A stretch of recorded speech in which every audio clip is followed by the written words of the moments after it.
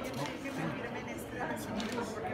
la carta que acabamos de entregar en la oficialía de partes de la oficina del señor gobernador, el ingeniero Jaime Leodoro Rodríguez Calderón, gobernador constitucional del Estado de Nuevo León.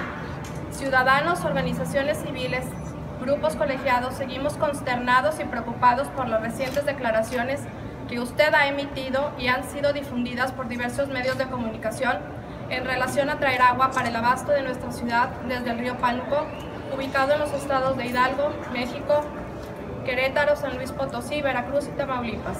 El río Pánuco es el segundo más contaminado de México. Existen en materia de agua y saneamiento opciones alternas para garantizar el abasto de agua en Nuevo León. Traemos un anexo.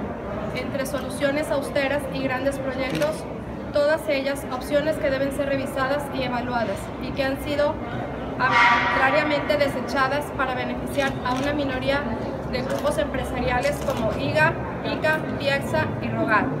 En su reciente visita a México, en su audiencia con el presidente de la República, el Papa Francisco mencionó lo siguiente.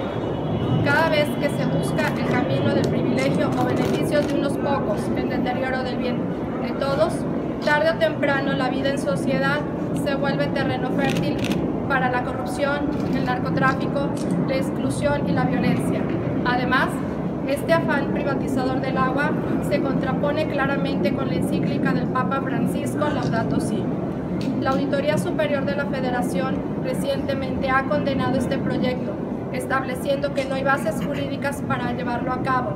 Lo mismo, le recordamos que el proyecto de trasvasar agua del río Pánuco transgrede acuerdos internacionales firmados por México Declaración de Río sobre el Medio Ambiente y Desarrollo de las Naciones Unidas 1992. Tratado Internacional 2030, firmado por Conagua y la OCDE en el 2012.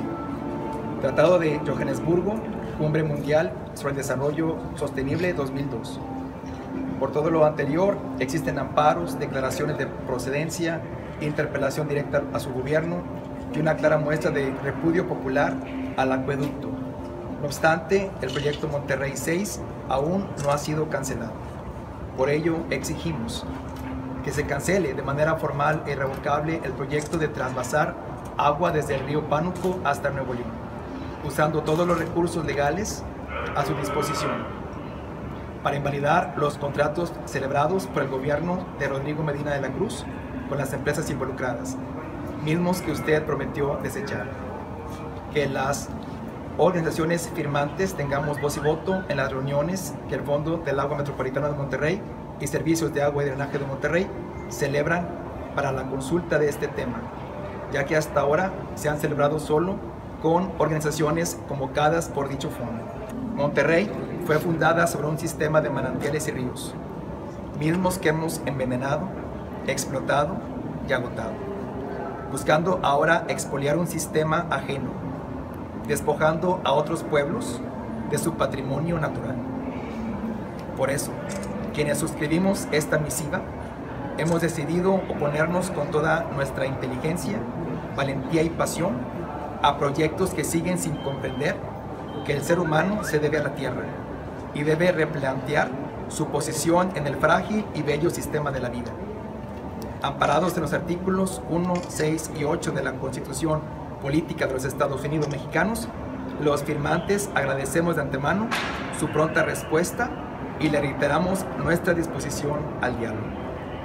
Atentamente, somos, eh, bueno, somos, 40 y, bueno, somos 48 organizaciones en esta carta.